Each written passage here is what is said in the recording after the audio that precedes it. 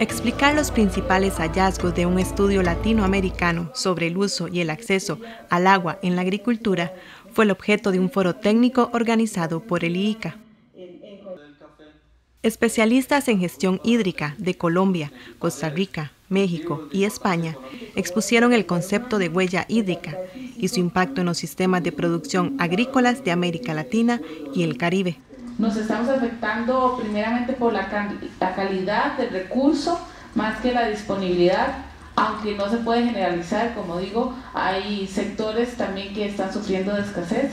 El tema del agua es de especial importancia para el IICA, que procura brindar asistencia técnica a sus países miembros para que aprovechen este recurso más eficientemente al producir alimentos. Una de las cosas que el IICA está haciendo es eh, eh,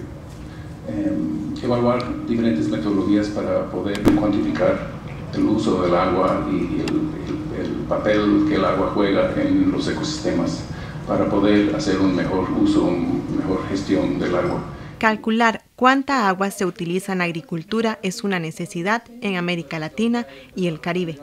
pues el indicador puede brindar información precisa para generar mejores políticas públicas de seguridad alimentaria, acceso al recurso hídrico y preservación de un ambiente ecológicamente equilibrado.